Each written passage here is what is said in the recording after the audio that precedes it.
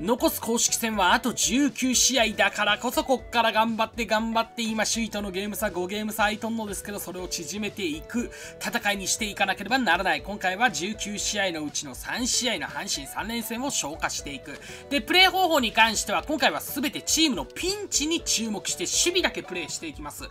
なぜかというとここ最近負けることが多くて負けてる要因が先発リリーバークローザー全部打たれとるからや。だから今回は打たれないように必死に守りりましょう。じゃないと勝てねえから、相手は最下位の阪神とはいえどね。で、同時進行で横浜はこれから、えっ、ー、と、ヤクルトと戦う。まあ、期待しないでおきましょう。俺たちがまず勝つことだけ。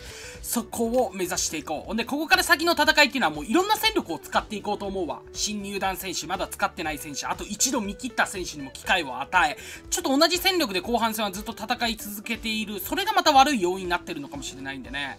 えー、今日の先発に関しては状態のいい桜井、でいいかな。いや、メルセデスが状態良くて、で、今、助っ人選手の枠の問題で、下の助っ人選手を上げることができないから、メルセデス登板終わったら1回2軍に落としましょう。で、えー、サンチェスとか、もうデラロサとか、あの辺の力もちょっと借りていこうかななんて考えてますけどね。で、このスターティングオーダーに関しても、後半戦はもうずっとこれでやってきたんですけど、ちょっと変えた方がいいんじゃないかな。変えた方がより得点が入るケースもあるかもしれないし、一層のことね、ずっとクリーンアップを打たしてきたパーラーをあえて2番に置いたりとか、いや、1番に置いたり、1番パーラーっていうの最近ありましたよね、リアルな巨人でも。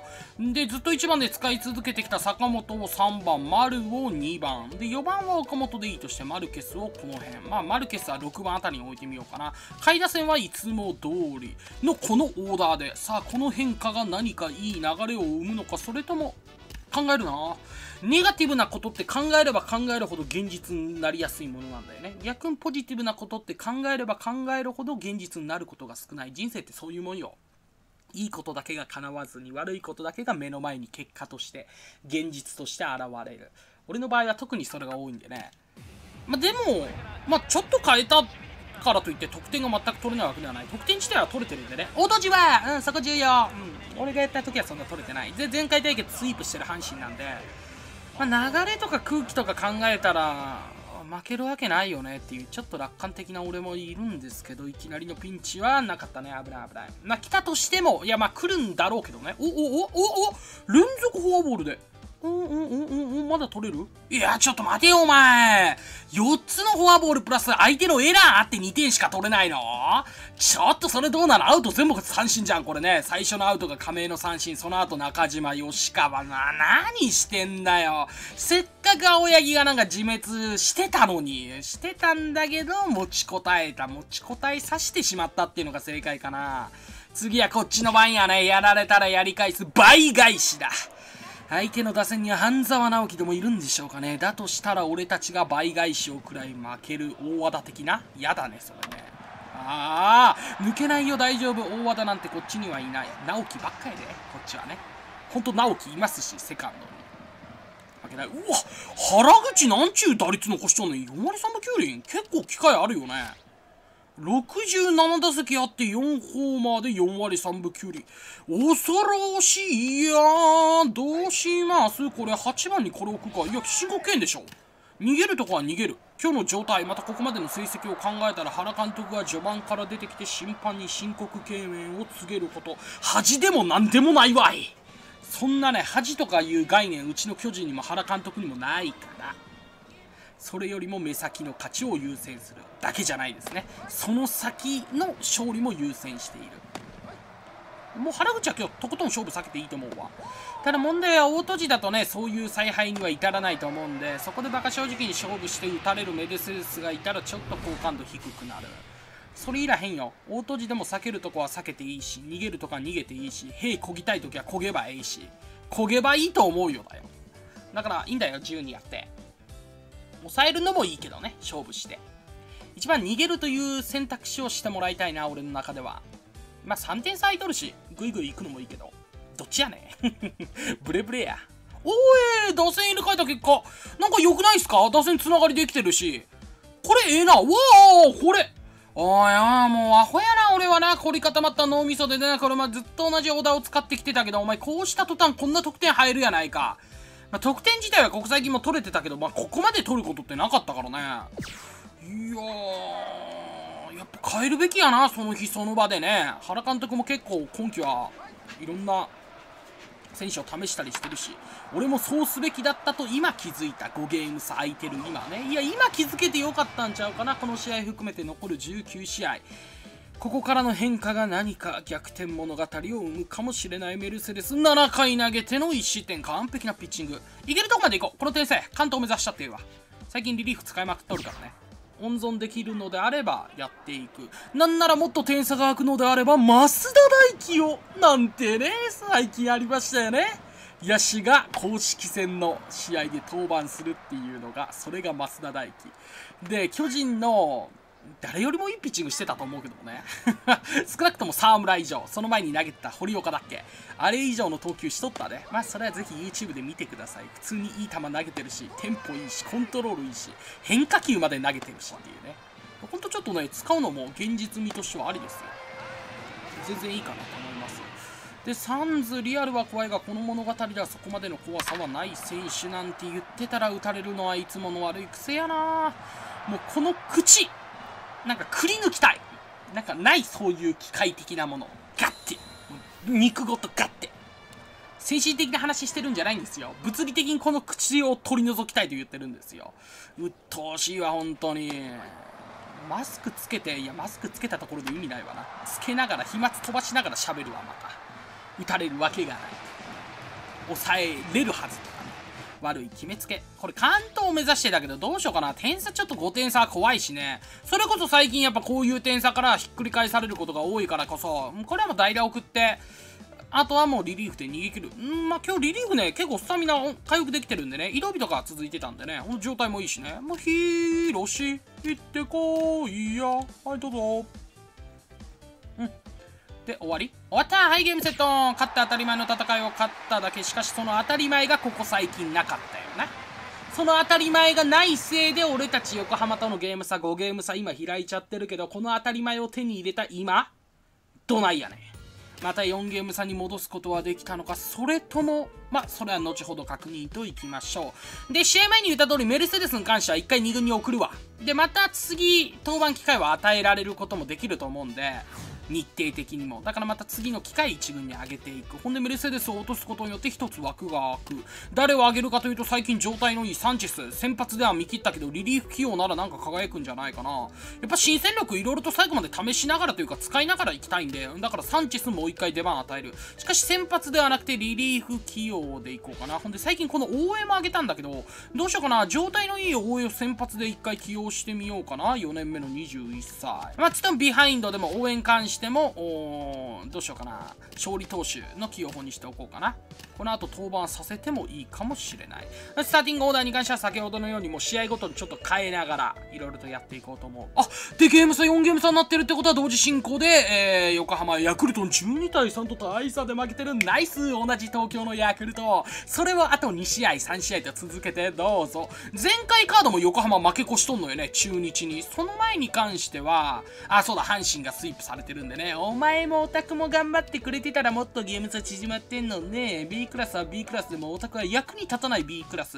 まあ、その B クラスチームを今ぶっ潰してるのは巨人なんですけどね。これから先もやっていくで。今日の先発は、うんーとね、ローテーション的にはずっと戸郷が行く予定なんだけど、ちょっと状態悪いしな。桜井でいいか。絶好調やしね。君に決めた。打線に関しては先ほど同様、やっぱパーラ上位でいた方がいいし、ほんで3番にこの坂本がいることによってね、やっぱ普通に打つからこの坂本。やっぱ3番の方がいいよ。なんか1番打たしてんのがもったいない。だいぶ打点損してたように思えるわ。だからまあさっきと同じですね。あれだけ得点入った後のゲームですから同じような起用法で、えー、相手堀瑞希ちゃんですね。日ハムからトレードでやってきて、もう今や阪神の選手って感じの親しみ馴染みがある投手ですけど、今日はそいつを捉えて打って、あ打つのは俺じゃないですからね。先ほど同様守ることがテーマになるので、いっぱいに守って、また今日も一つ当たり前を積み重ねましょう。その当たり前がいつかまた大きな当たり前につながるでしょう。えー、誰か人生の教訓にしてください。俺のこの言葉をね。何の役に立つか分からへんけど。行こう。勝った当たり前のゲーム、戦いが始まった。まあ、いきなりのピンチもご愛嬌って感じですね。いくら来てもこうなっても構わない。どうせ打線は取ってくるし、何よりも俺が桜井を使って抑えるから。あー、中島さん。いや、まあまあそもそも普通に取れるってところを打球と真逆の方行ったからこんなプレーになったんですけど取ったらええわ何でもええわアウトになりゃ何でもええ、うん、もうこの辺楽なんよね序盤は試合後半になってくるとめんどくさいけどもうこの辺は追い込んでからカーブもしくはなんかその辺の変化球をちらほら投げておけば泡吹いて潮吹いてなもう精子ばらまいて倒れるから。あオッケーオッケーオッケー。楽々ティンティンなとこやね。よし。さあこの後ですよ。先ほどは序盤からもう得点ドババって入っとったん。やそれこそ生死のようにね。射精のように。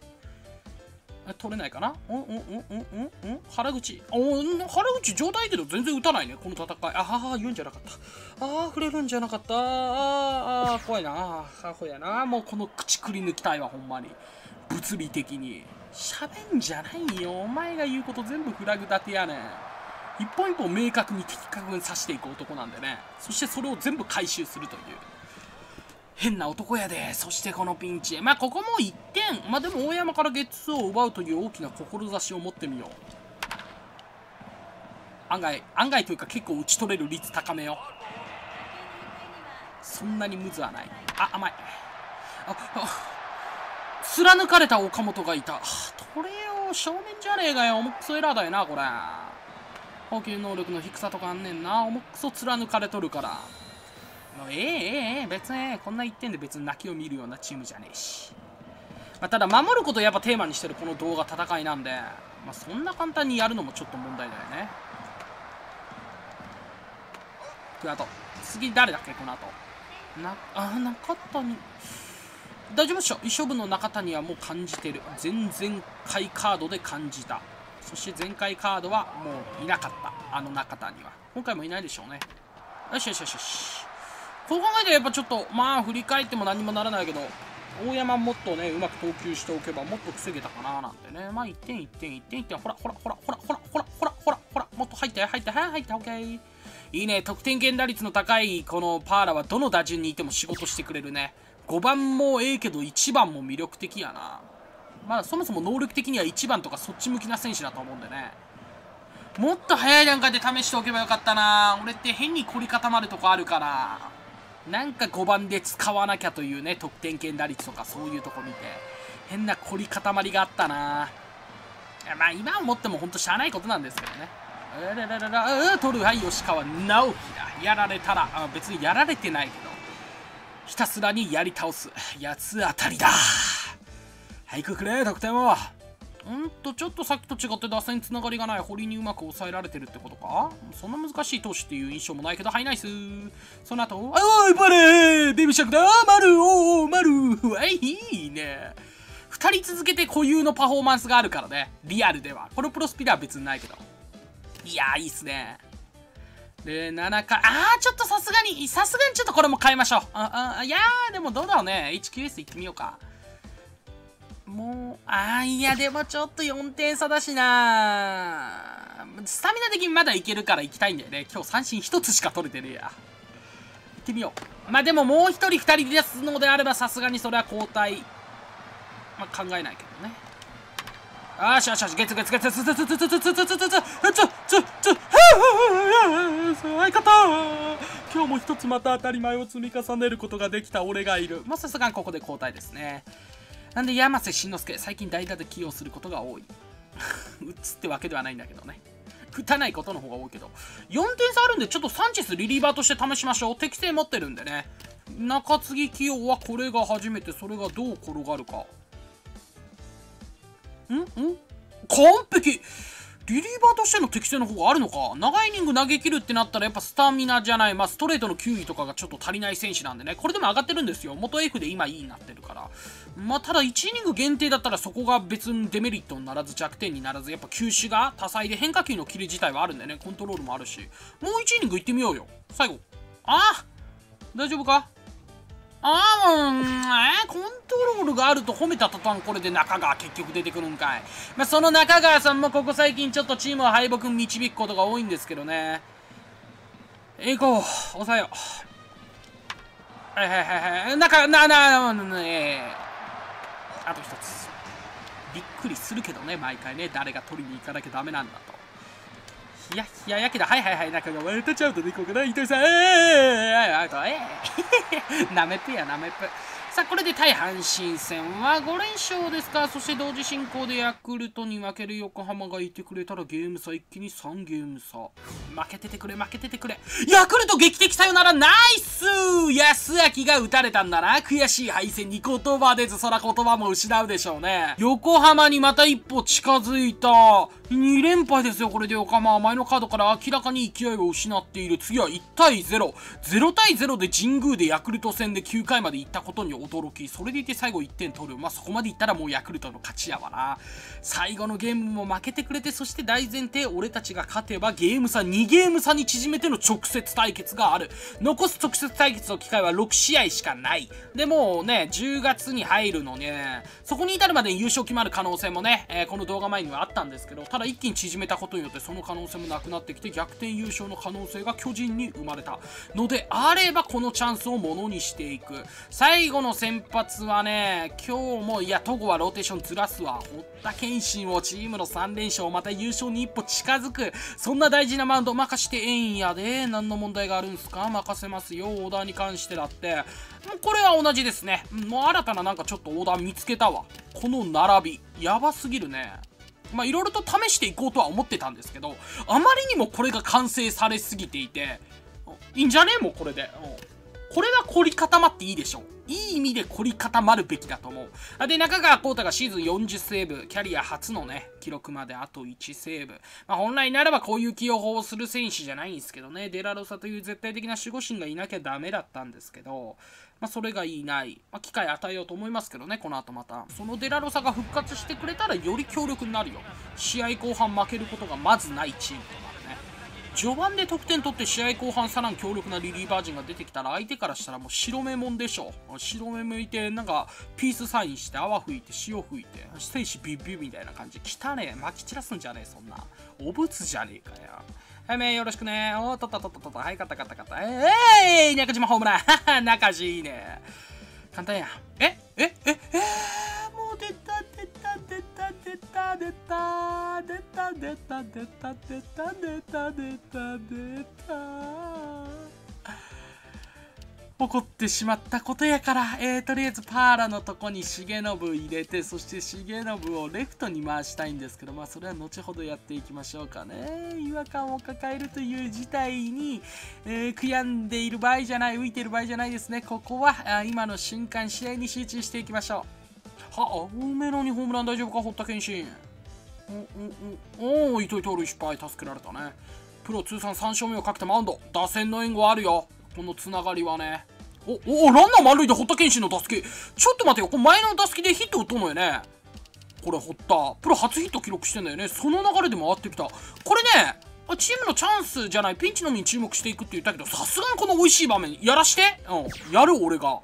万塁の場面で堀田初安打は記録したが、初打点とかはまだないから、俺の手で出してみる？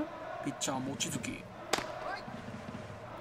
初球からガンガンいった方がいいね。球が速いんで。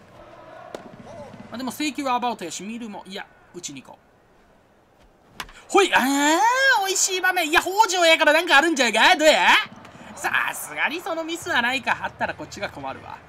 美味しい場面だったんだけどね、美味しい展開を作り出すことはできませんでした。まあ、それはまた次の機会と言っておきましょう。さあ、引き続きチームのピンチに注目して、今日はまだ一度もピンチはないが、いいね、4回まで1点のみや梅野のホームランのみ完璧。点差もあるしね、5回余裕で生かしますよ。いてどうぞ。はい、はい、はい。おー、大丈夫、大丈夫、大丈夫。こんなピンチはピンチじゃねえ。で、今日ホームランを打たれてる梅野をリベンジするにはちょうどいい機会やな。えい。いや厳しいね。そこ取ってくれないんだよね、相変わらず。えい。ストレートで。おいや気合入りすぎ。空回はありや。カブ。あー、メロンの打球打球あのね、ちょっと岡本さ、正面の打球取れないのであればね、頭上の打球くらい取るみたいな、そんな才能というか技術ない。ないわな。求めたって出てくるもんじゃねえよ、そんな球に。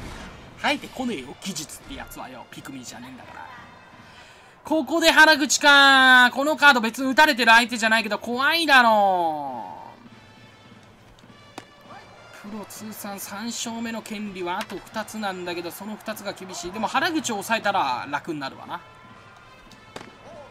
抑えられたらあー決まらんスタミナ的な問題もあるストレートやなアウトコースの。あー決まらん。これはもうさすがに厳しいだろう。何を投げるもう全力でいこうや。インハイ。ほっあーあーはい交代。こういうのがあかんねんな、こういうとこから逆転劇が始まってチームの連勝が止まってまた横浜とのゲーム差一歩離されて。それじゃああかんからチームの勝利優先させてくれ。今日のホットは完璧だった。いいんだよ。別に勝ちなんて今の時代評価されへん。それよりもどう自分の投げた登板ゲームを抑えたか。そこが重要内容がね。サンチェス行こうとしてたけどいかんいかん。ここはもう状態のいい。ヒロシで。サンチェスはもっと点差が空いてる場面じゃないと。えー、そのお前が打たれてこのピンチはわけがわからんぞお前よ。何してんねんお前。いつまでもそのポーズ。抑えれる自信がある時にやって。今やったってことは抑える自信があってここでゲッツーを打ち取れるということ。なるほどね。いつまでもやり続けろ。一人鏡の前夜な夜なやっとけ。許そう。許可を出そう。それで抑えれるのであればね。あ吉川直樹もよくんですか。ちょって勢いづいてきている流れで勝ち続けてる流れでそしてこの後横浜戦があるのにもかかわらず2人試合違和感を抱える主力も主力ですよ。えーととにかくまだ試合中で試合は続いていくということでセカンド増田大輝あ第3要員でもありますね。で代打鈴木宏のとこ送りましょうかね。えーっと山瀬でうんどうやあ通りしてこないっす。からのからのあ得点はないか。とにかくこの試合勝ちましょう。まずはね。そこは大前提必要なんで。まあ、そのまま守備につかすよ、増田大輝はね。田原が、うまく抑えて。これ以上悩みの種をばらまくな。そして花咲かせんなよ、踊りゃ。この試合は俺からしたらもう勝ったも同然というか2試合目終わった時点で勝っとんねんっていうその時点でこの試合の勝ちをもう見てたよ見据えてたよ俺だからだから余計なピンチをまずは作ってくれないことですね。もう1イニング任してもいいんじゃないかな。ちょっと7回ねああナイス岡本のホームラン。7回ね。うーん。ちょっと怖いかな他のピッチャーは。状態したから2イニングで。え？いう、ピンチで糸井ね。まあ、3点差あるし別に一撃打たれてもいいという思いながらちょっと楽観的にまあそれでも抑えながら。どういうこっちゃね。ああもうしょうもないしょうもない。もうええ帰れ帰れ帰れ帰っとけ。こんなしこしことねようわからんね。もう一人よがりのねこんな単打で。タイムリーで。喜んどけや。しこしこやっとけよ。俺は別にやらん。一人やらなくても相手がいるから。うんいいんですいいんですいいんです。はいオッケーどうせ取れるからね。ここで代打。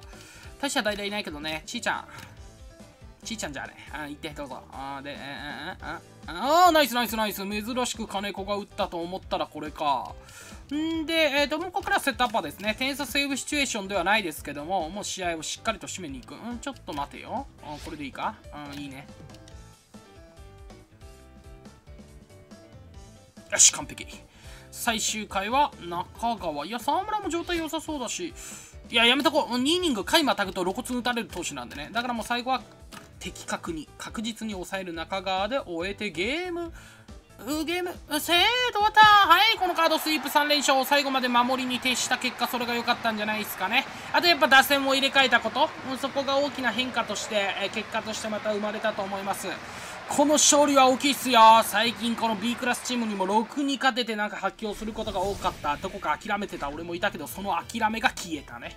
これからもっともっと頑張らねば頑張る義務がここにあるという変な使命感義務感が生まれた俺がいただから今後の物語はもっと楽しくなるでしょうね。ほんと最後まで打線入れ替えた結果というものが出ましたよ、まあ、阪神の投手陣があれやったからっていうのもあるんだろうけどもね。いやそれ以上にやっぱ打線入れ替えた効果が出たのでもう次回の横浜戦に関しても引き続き変えながらあそうだ忘れてた。パラ違和感ねあと吉川直樹もだよね。うわもうこれどうするか。違和感抱えながらも出すか。難しいとこなんですけどね。あんで、今どうだ？なんかニュース見る限り横浜、勝ってるね。ホールドポイントエスコバについているので、勝ってるんじゃないですか？うん、だからゲーム差3ゲーム差。最後ヤクルトが勝ってくれてたら2ゲーム差縮めることができたんですけど、それは叶わず。か。まあでも3ゲーム差で次回横浜3連戦の戦いが始まる。その3連戦もまたスイープしたらゲーム差を0ゲーム差にすることができるということ。やろうそれしかないからやります次回以降横浜戦をプレイしていく予定なんでお楽しみにあとねさっきの話に戻りますやっぱ違和感を抱えている選手を出すっていうのは良くないことだし、あと本来の能力が発揮されないから、やっぱこの辺打てないと思うんだよね。守備固めとかそういう起用法であればね、問題ないんですけど、打力の、まあ、打席の場合はね、やっぱ能力はもう露骨に衰えるから違和感抱えると。だからまあ、無茶させないとかそういう意味も込めて、やっぱりスタメンから外しましょう。パーラも、吉川も。これ外野手ね、どうしようかな。下にいる選手を上げるか。モタ一度見切った選手ですけどね、こういう選手もう一度機会を与えるともしかしたらモタがここから救世主になる。しかし枠の問題で上げるに上げられへんのよね。うーん、モタはまあないかな。他の外野手とかまだ一度も試してない選手とかね、加藤。試したいと思われ。縦岡試してるよな。あ、使ってないのか。一度一度で軍に上げてたんだけどね。使われてないらしい。松原とかも1回起用したんだけど、まあ数字ボロボロっすよ。パワー型の外野手がいてくれたらいいんやけどね。まあこの伊藤とかがそうか。結構魅力的な選手だと思うんでね。だからこの選手ちょっと1回試してみよう。新入団選手ですけどね。えー、代わりに落とすのは、ひとまず誰にしようかな。えー、っとね、田中俊太、いや、重信、金子とかこの辺は落とせないから、いや、山瀬1回やっぱ落とすわ。やっぱ必要ない選手なんでね。なんで、えー、っと、パーラなとこは、まあ併用しながらですね、伊藤を使う時もあれば、金子を使う時もあり、重信。まあ、基本は重信かな。状態に合わせてやっていく。またね、基本的なベストオーダーも変えましょう。やっぱね、1番に関しては、坂本とかではなくて、まあ、パーラの代わりマルケス。打率は言うほど高くないけど、まあ、出塁率はある選手なんで、マルケスを置いて2番に丸、3番坂本。この並びが完成されてるんでね。で、下位打線はこんな感じで、その日その場で、えー、外野手の選手は併用していく。セカンドは吉川がいない間は増田固定でいいんじゃないですかね。このオーダーで。まあ、いろいろと変えながらいきますよ。ここから先、リリーフも先発も、野手もね。もうとにかく変化をつけながら次回以降の横浜戦をプレイしていきます。でね、何度も言うが、直接対決の機会が6試合しかないんですよ。この横浜戦。そしてその横浜戦で勝つことが、今後の物語の優勝、まあ、ハッピーエンドかバッドエンドかによって変わってくるので、次回から始まる横浜戦は動画1個につき1試合のみ進行していきます。1試合集中してプレイして、普段と違ってね、いっぱいいろんな場面に注目してやるやり方で、え、やっていくので、ちょっとシリーズの進みは遅くなるかもしれませんけど、重要な戦いなどでご理解していただきたい。次回は9月18日、首位攻防戦の大事な1戦目プレイ予定です。お楽しみにね。最後までご視聴いただきありがとうございました。ググググッバイまた